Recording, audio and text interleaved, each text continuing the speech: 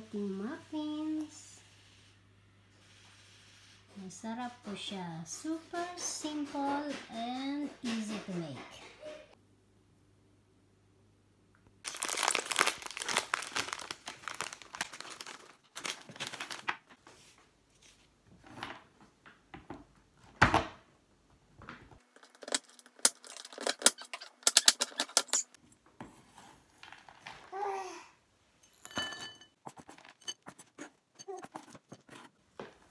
So, ito, pecan.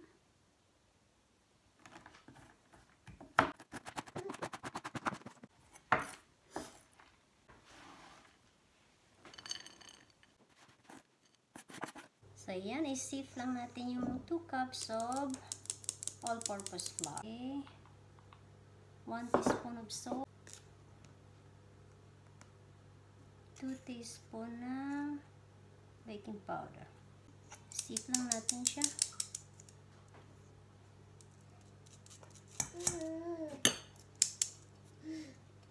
So, i-mix lang natin. I-add natin yung 1 cup na sugar. Yung chinap ko na cho dark chocolate at saka yung pecans. 1 half to 3 4 cup. Yan. So, mix natin sila.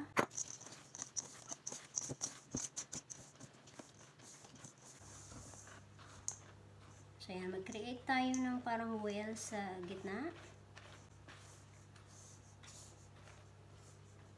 Ting 3 eggs. Dapat yung egg is nasa room temperature lang.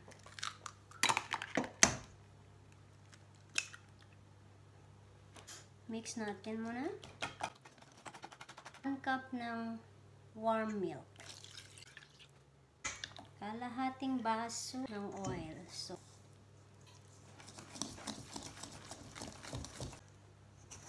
so mix spatula na lang gamitin ko para hindi siya ma-overmix.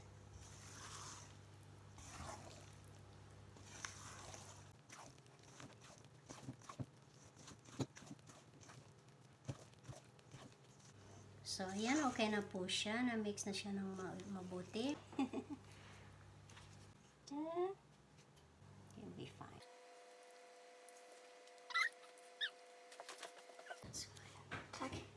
Welcome!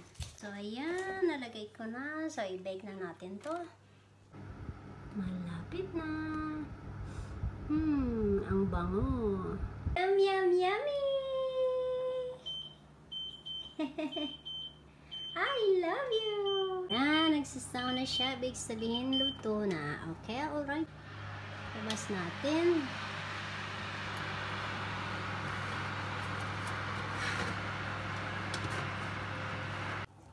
So, dyan na yan. Right? Bagong luto. Looks delicious.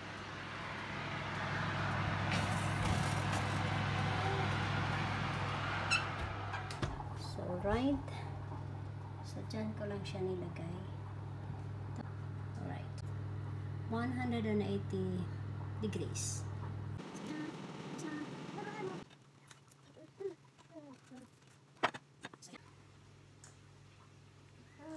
Charan!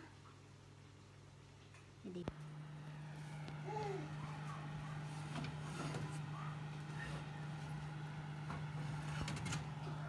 Yummy delicious. Ayan na. Hey! Are you happy there? Bagong luto. Looks delicious. Yan na po ang ating muffins. Masarap po siya. Super simple and easy to make.